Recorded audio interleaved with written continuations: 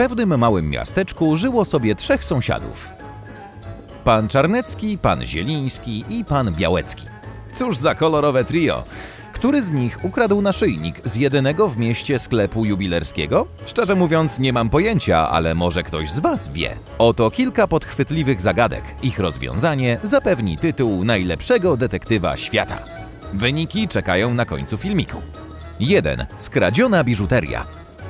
To był dzień rocznicy ślubu państwa Kamińskich. Pani Kamińska chciała założyć diamentowe kolczyki, które dostała w prezencie ślubnym od męża, ale kiedy otworzyła pudełeczko, okazało się, że ich nie ma. Zawołała więc swoje nastoletnie córki, Anię oraz Hanie i powiedziała Tyle razy wam powtarzałam, żebyście nie dotykały moich rzeczy. Która tym razem zwinęła biżuterię? Ania poczuła się oburzona. Nawet nie dotknęłam tego pudełka. Hania również zaprzeczyła. A na co mi twoje stare kolczyki? Czy 10 sekund to wystarczający czas, żeby zorientować się, która z dziewczyn kłamie?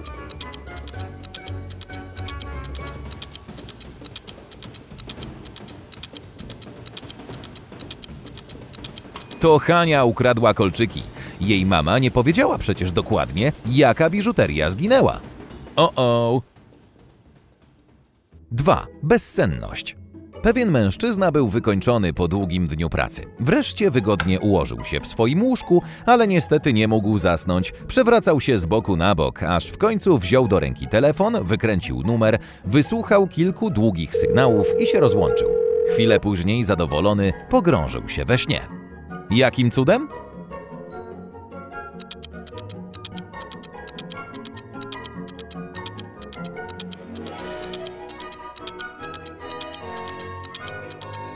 Jego sąsiad z za ściany bardzo głośno chrapał. Dźwięk telefonu obudził winowajcę, a zmęczony nieszczęśnik wreszcie mógł spokojnie zasnąć. 3. Wypadek na statku wycieczkowym. Funkcjonariusz Lipski pracował jako ochroniarz na luksusowym wycieczkowcu. Pewnego dnia statek złapała wielka burza. Większość pasażerów pozostawała w swoich kabinach, ponieważ wielkie fale wywołały u nich chorobę morską. Nagle czujny strażnik usłyszał dziwny odgłos dochodzący gdzieś z pokładu. Pobiegł tam i zobaczył, że na ziemi leży nieprzytomny mężczyzna. Kiedy poszkodowany doszedł do siebie, przekazał ochroniarzowi, że wracał spokojnie do swojej kajuty, ale niespodziewanie ktoś uderzył go w głowę i zabrał mu pieniądze oraz telefon. Funkcjonariusz Lipski podejrzewał dwie osoby, Adama i Leona. Adam powiedział, że w momencie napadu ćwiczył na siłowni, natomiast Leon twierdził, że akurat wtedy był w łazience, ponieważ bardzo źle się czuł.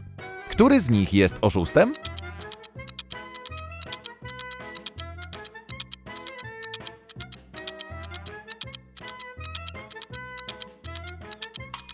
Adam kłamie. Skoro fale były tak duże, że ludzie wręcz chorowali, siłownia na pewno została zamknięta, żeby przewracający się sprzęt nie zrobił nikomu krzywdy. 4. Zaginiony trener piłki nożnej. Pewnego dnia słynny szkoleniowiec rozpłynął się w powietrzu. Ostatni raz widziano go w szatni. Detektyw miał trzech podejrzanych. Wszyscy z nich byli zawodnikami drużyny prowadzonej dotąd przez zaginionego. Bruno powiedział, że po treningu został jeszcze na boisku, żeby doszlifować formę. Kamil wyjaśnił, że z powodu problemów rodzinnych od razu po zajęciach jak najszybciej pobiegł do domu. Z kolei Mikołaj twierdził, że kiedy wychodził z szatni, trener nadal tam był. A zatem kto jest porywaczem?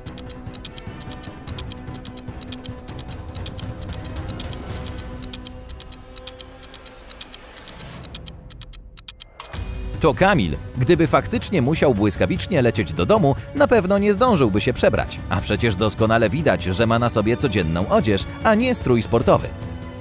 5. Przyjazny autostopowicz. Któregoś upalnego dnia funkcjonariusz Marzec przemierzał wiejską drogę. Nagle na poboczu zauważył autostopowicza i zatrzymał się, chcąc mu pomóc.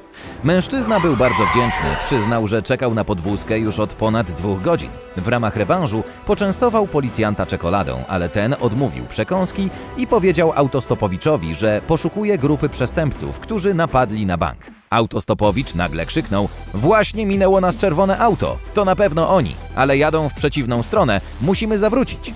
Słysząc to, funkcjonariusz Marzec od razu zabrał go na komisariat. Okazało się, że mężczyzna był jednym ze złodziei.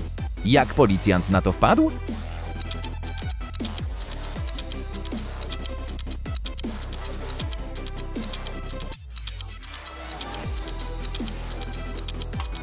Gdyby autostopowicz faktycznie stał na drodze przez dwie godziny w gorący dzień, jego czekolada już dawno by się roztopiła, a więc skłamał, kierując śledczego w niewłaściwą stronę.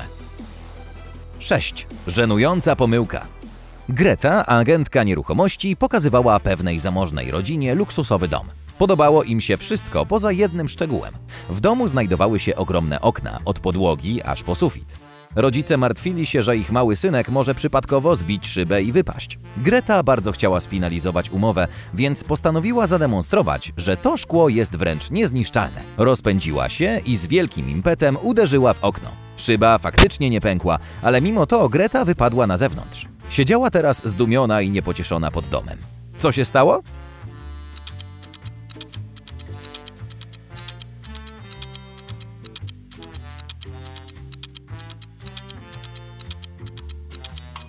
Szyba rzeczywiście nie pękła, ale w całości wyskoczyła z okiennej framugi. 7. Ołówek na ziemi.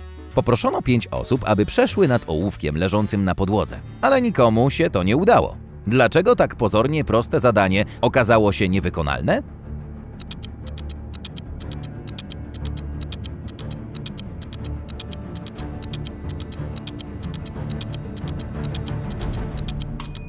Ołówek leżał bardzo blisko ściany. 8. Dziwny numer.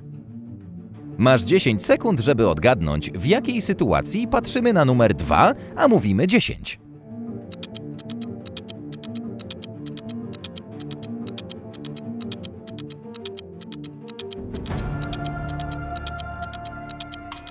Dzieje się tak, kiedy spoglądamy na zegarek. Hej, jest 10 po 10. 9. Brakujące wyjście. Dawno, dawno temu w jednej z komnat najwyższej zamkowej wieży uwięziono księżniczkę. Dowiedziała się, że może uciec, ale tylko przez czwarte drzwi. Problem polegał na tym, że w pomieszczeniu znajdowało się tylko troje drzwi. Gdzie księżniczka powinna szukać czwartego wyjścia? Pamiętaj, masz tylko 10 sekund, żeby pomóc jej wyjść.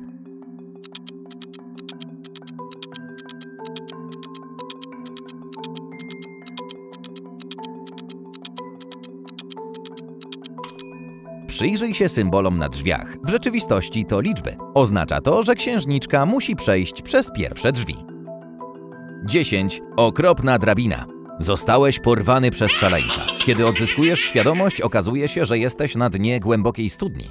Próbujesz jakimś sposobem wdrapać się na górę po ścianach, ale niestety są zbyt śliskie. Jedyną drogą ucieczki jest drabina, ale nie składa się ona ze zwykłych szczebli, tylko z ostrych jak brzytwa noży. Jak więc można wydostać się ze studni bez szwanku? Szybko, czas ucieka!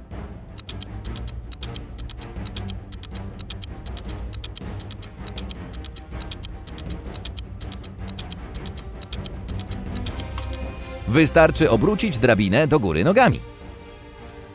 11. Pierwsze światło. Wchodzisz do pomieszczenia, w którym panują egipskie ciemności. Wiesz, że znajduje się tam kuchenka gazowa, świeczka i lampa naftowa. Na szczęście masz przy sobie pudełko zapałek. Co zapalisz w pierwszej kolejności?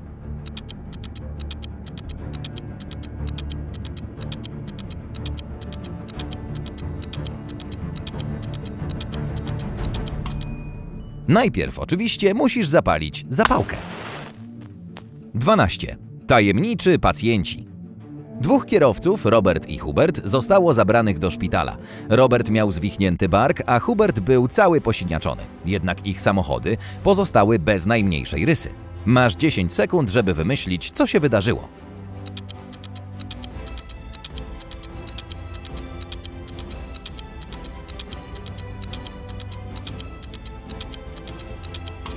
Kierowcy wdali się w bójkę. Nie doszło do żadnej stłuczki czy kolizji. 13. Bezpieczne miejsce.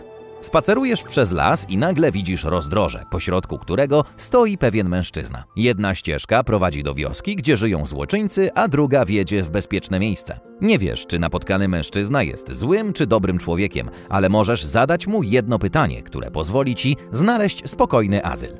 Jeśli nieznajomy jest łotrem, skłamie, a jeśli jest poczciwcem, powie prawdę. Jakie pytanie należałoby zadać?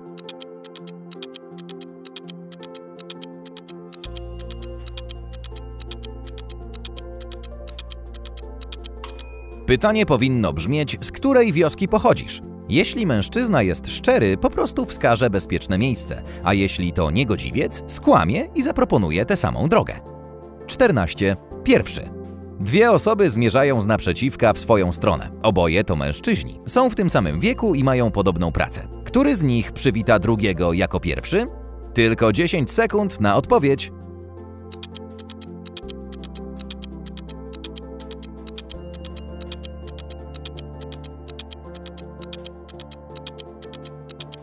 Zrobi to oczywiście ten bardziej uprzejmy. Okej, najwyższy czas przekonać się, czy zdobyłeś tytuł współczesnego Sherlocka. Daj znać w komentarzach, jak ci poszło. Jeśli udało ci się rozszyfrować od 0 do 4 zagadek, uzyskałeś jedynie 30% poziomu serialowego detektywa. Lepiej, żebyś nie rozwiązywał teraz żadnych ważnych spraw. Poświęć trochę czasu na trening, a na pewno nabierzesz większej wprawy. Twój wynik to od 5 do 9 rozwikłanych zagadek? Jesteś Sherlockiem w 60%. Nie najgorzej, ale Twoje zdolności można jeszcze rozwinąć. Poćwicz umysł na problemach, które sprawdzają myślenie lateralne.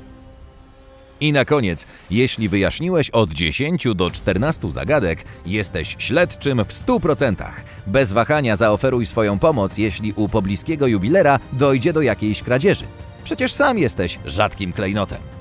Hej, jeśli dowiedzieliście się dzisiaj czegoś nowego, zostawcie łapkę w górę i udostępnijcie ten filmik znajomym. Sprawdźcie też inne ciekawe filmiki jasnej strony. Na pewno Wam się spodobają. Wystarczy kliknąć jeden z proponowanych i obejrzeć. Aha, i jeszcze jedno. Pozostańcie po jasnej stronie życia.